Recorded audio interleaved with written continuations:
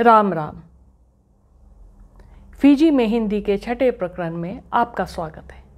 पिछले एपिसोड में आपने नारायणी की कथा सुनी, जिससे कुलंबरों द्वारा किए जाने वाले अत्याचार की एक झलक आपको मिली। साथ में ब्रिटिश सरकार के न्याय को आपने देखा। कुलंबरों द्वारा किए जाने वाले अत्याचार एक आम बात थी। एक बार की बात है। एक गिरमिटिया महिला अपने बीमार बच्चे को कूली लाइन में छोड़कर आने के बजाय उसे काम पर अपने साथ लिए चली आई। यह सोचकर कि समय समय पर वह उसे देख लिया करेगी। कुलंबर ने देखा, घोड़े पर सवार उसके पास जा पहुँचा और लगा चाबुक मारने। चाबुक उस बच्चे को भी लगी। इन दोनों के रोने की आवाज़ सुनकर पास में काम कर रही एक गिरमिटिया महिला दौड़ी चली आई और गुस्से में आकर उसने कुलंबर को खींचकर घोड़े पर से गिरा दिया। ऐसे हालात में भी समय समय पर महिलाओं ने अपना शक्ति रूप दिखाया है। आज ललिया की कथा। इससे आपको ब्रिटिश साम्राज्य द्वारा पालित, पोषित। इस गिरमिट प्रथा के विस्तार का, इसके फैलाव की एक झलक आपको मिल जाएगी। छियासी वर्ष। 86 सिक्स ईयर्स का गिरमिट इतिहास, जो 1834 से 1920 यानी 1834 से 1920 तक चलता रहा। ब्रिटिश सरकार लगभग 20 लाख यानी 2 मिलियन भारतीयों को अपने कॉलोनीज में बंधुआ मजदूर के रूप में ले गई। झूठ, फरेब, धोखाधड़ी, शोषण, अत्याचार और अन्याय से भरा यह छियासी वर्ष।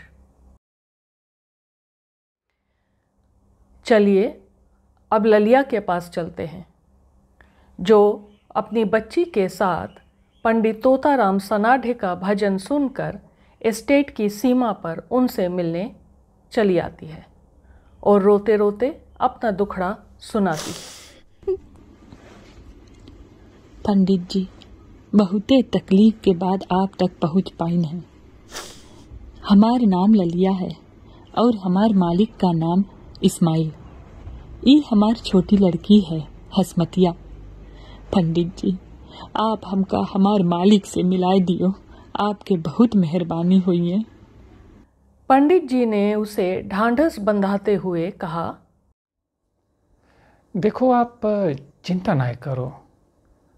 अपन बात हमका पूरा बताई दे हम, हमसे जो बन पड़ी, हम वो करीब। और ललिया ने अपनी पूरी कहानी सुना डाली। एक दिन गाँव का ही एक आदमी दौड़ा दौड़ा उसके पास चला आया और कहा कि तुम्हारे शौहर को बहुत चोट आई है, लोग उसे डॉक्टर के पास ले गए हैं। यदि अपनी शौहर को देखना चाहती है तो चल। और यदि पास में कुछ पैसे हों तो वो भी ले ले। हम तो बहुत घबराए गवा। कचू समझ ना रहा। पैसा लिया अपन ई बच्ची के उठाए हम ओकर पीछे पीछे चल पड़िन। तब कहाँ पता रहा हम जाल में फंसी जात रहिन। ओके हमार बच्ची के देख के भी कौनो रहम ना आइस। आरकाठी ने कच्ची सड़क पर एक टांगा लिया और उसमें बैठ थोड़ी देर बाद वे एक बड़े मकान के पास जा पहुँचे। मकान के अंदर से डॉक्टर के कपड़े पहना एक आदमी निकला। उसने आर काठी से थोड़ी बात की और फिर लौट गया। आर काठी ललिया के पास आया और कहा कि डॉक्टर बाबू बताते हैं कि तुम्हारे शौहर की तबीयत बहुत ख़राब है, इसलिए तुम अभी उससे नहीं मिल सकती। तुम्हें यहाँ रुकना होगा। और उसने पास के कमरे में ले जाकर उसे चावल और हंडी दे दिया और कहा, अपने लिए भात बना लो और यहीं आराम करो। मैं फिर आऊँगा। वह चला गया। अगले दिन आया और ललिया से कहा कि रात को तुम्हारे शौहर की तबीयत बहुत ख़राब हो जाने के कारण उसे कलकत्ता भेज दिया गया है, बड़े अस्पताल में। अब तो तुझे कलकत्ता जाना होगा। बता, क्या करती है? ललिया के पास कोई उपाय तो था नहीं।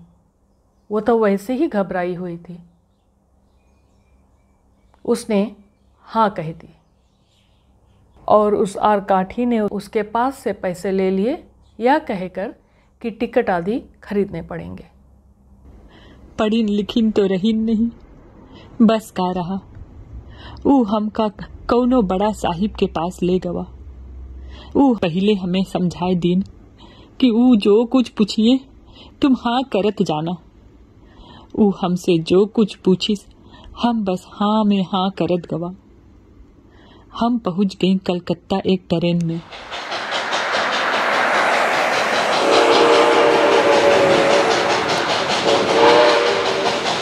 वहाँ हमसे बोले कि हमार मालिक फिजी चलाए गए। अब हम का जानी फिजी कहाँ है? हम तो इतना घबराए रहिन कि हमसे जो जो बोलिन, हम हाँ करत गवा। और यही कोई दुई तीन हफ़्ता बाद हम का चढ़ाए दिन जहाजुआ माँ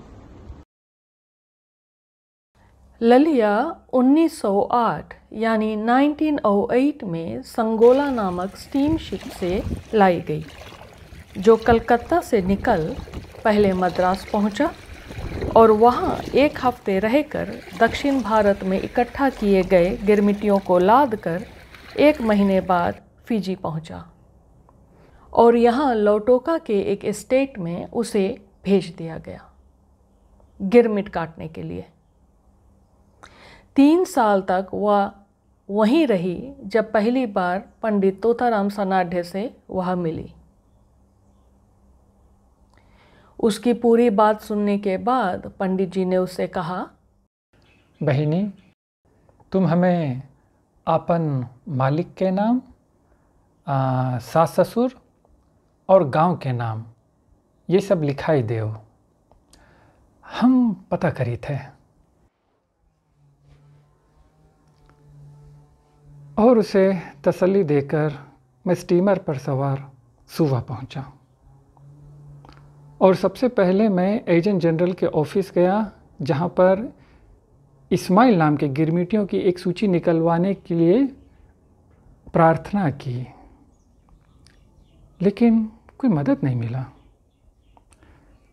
तब अपने लोगों में मैंने बात फैला दी कि यदि इस्माइल नाम का व्यक्ति मिले तो मुझे तुरंत खबर करें। और इस्माइल नाम का एक व्यक्ति मिला भी और मैं तुरंत ही उसे मिलने के लिए गया। वह बहुत कमज़ोर और अपनी पत्नी और बच्ची के लिए बहुत व्याकुल था। जिस एस्टेट में इस्माइल काम कर रहा था, वह ललिया के एस्टेट से काफ़ी दूर था। फिर उन्हें मिलवाने के लिए मैं एजेंट जनरल के पास छुट्टी की अर्जी लेकर गया। लेकिन वहाँ भी काम नहीं बना। फिर एस्टेट के मालिक के पास भी गया। उन्होंने भी छुट्टी नहीं स्वीकार की। फिर मैं घर वापस आ गया और सोचा कुछ उपाय तो ज़रूर करूँगा। लेकिन दुख के बात है, एक खबर मिली कि इस्माइल को कोड़ हो गया है और 10-15 दिन बाद उसको भारत भेज दिया जाएगा। यह तो बहुत बुरा हुआ। मुझे जैसे मौका मिला मैं बैरिस्टर से मिला और इस्माइल को रोकना चाहा। लेकिन बैरिस्टर ने भी जवाब दे दिया और उसका जाना पक्का हो गया। इस भागम भाग में इस्माइल के जाने का दिन भी आ गया और मैं भागता भागता जब उसके पास पहुँचा तो उसे जहाज़ पर सवार पाया। फिर क्या था? अपने एक पहचान के कर्मचारी को उसका ख्याल रखने को कहा और लौट कर मुझे तुरंत सूचित करने को भी कहा। कुछ महीनों बाद पता चला कि भारत लौटे इस्माइल की मौत हो गई। मैं तो पूरा टूट सा गया। लेकिन फिर हिम्मत जुटा के मैं ललिया के पास गया और उसे जब खबर दी तो वह फूट फूट कर रो पड़ी। उसकी बहुत बुरी हालत हुई। या अल्लाह!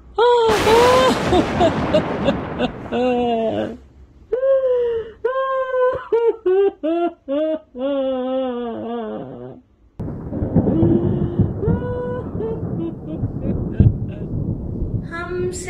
जीवन साथी छूटा, छूटी बाप से बिटिया।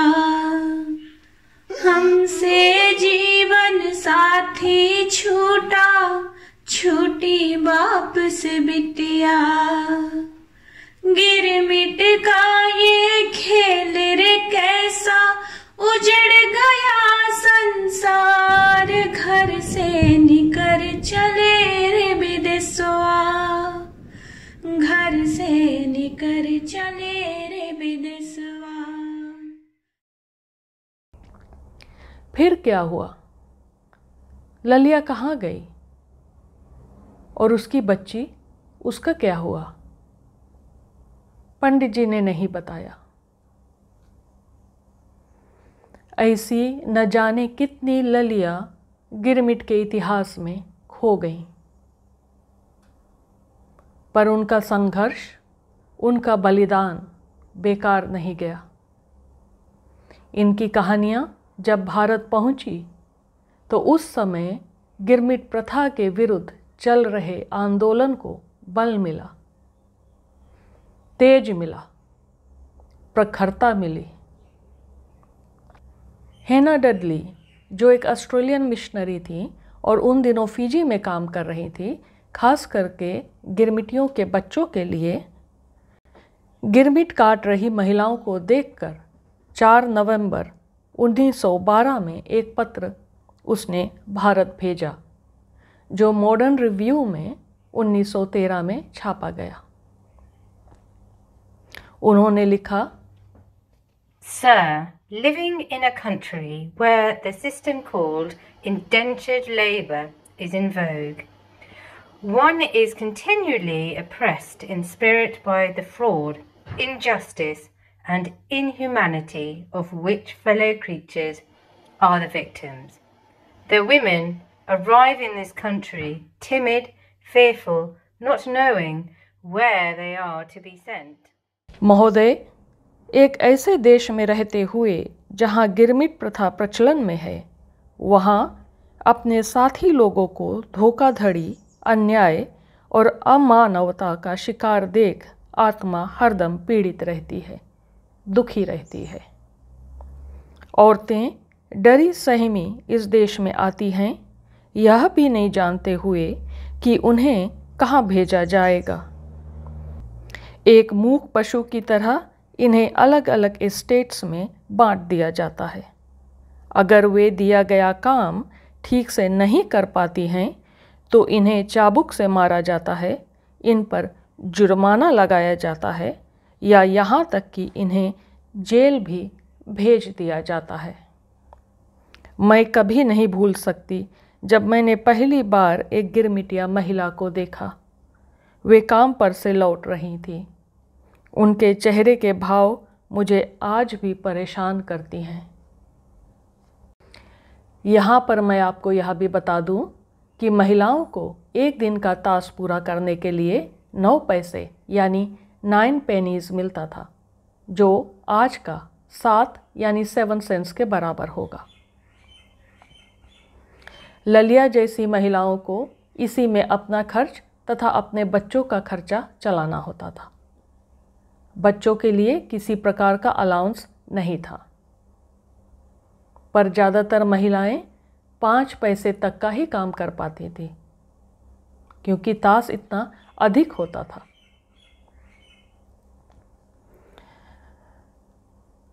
इस ढंग से साल भर में वे मुश्किल से 10 से 11 पाउंड्स कमा पाती थी, जबकि वहीं पर एक गोरे का कॉस्ट ऑफ़ लिविंग कम से कम 60 यानी 60 पाउंड्स बताया गया था। अब थोड़ी जानकारी उन आरकाठियों के बारे में।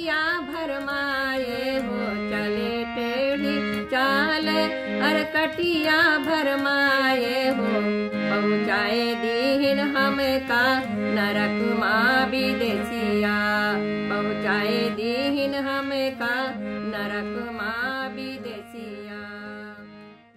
पंडित मदन मोहन मालवीय ने गिरमिट प्रथा को खत्म करने की मांग imperial legislative council of India में करते हुए आरकाठियों के बारे में कहा कि ये लोग बहुत नीच स्तर के लोग थे, जिनके लिए झूठ, धोखाधड़ी और ज़रूरत पड़ने पर किसी भी हद तक गिर जाना गलत नहीं था।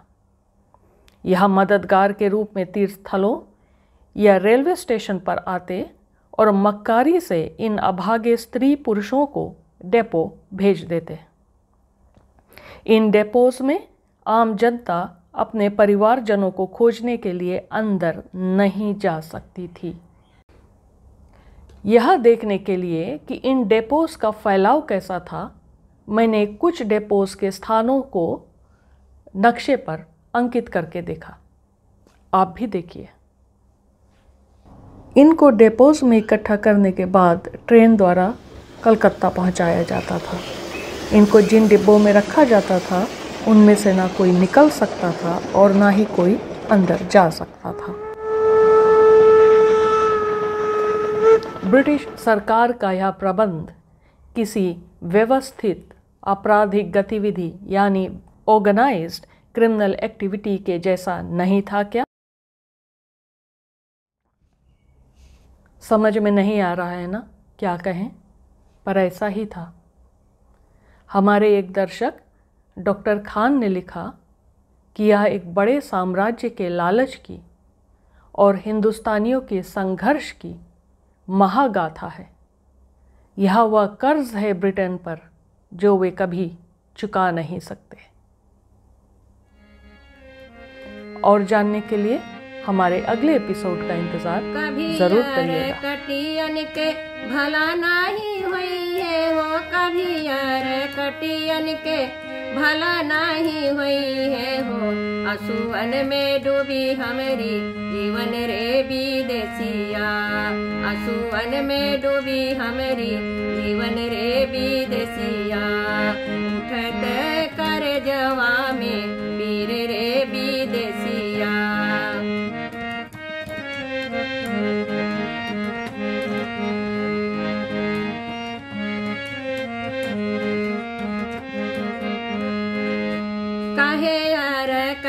कटियन के देवे हम दोसवा हो, कहे अरे कटियन के देवे हम दोसवा हो गोरी सरकार चले, चाल रे विदेशिया